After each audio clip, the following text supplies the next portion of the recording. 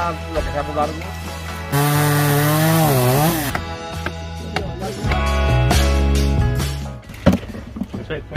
Aquí lo vamos a tener que echar de venir. No tenemos.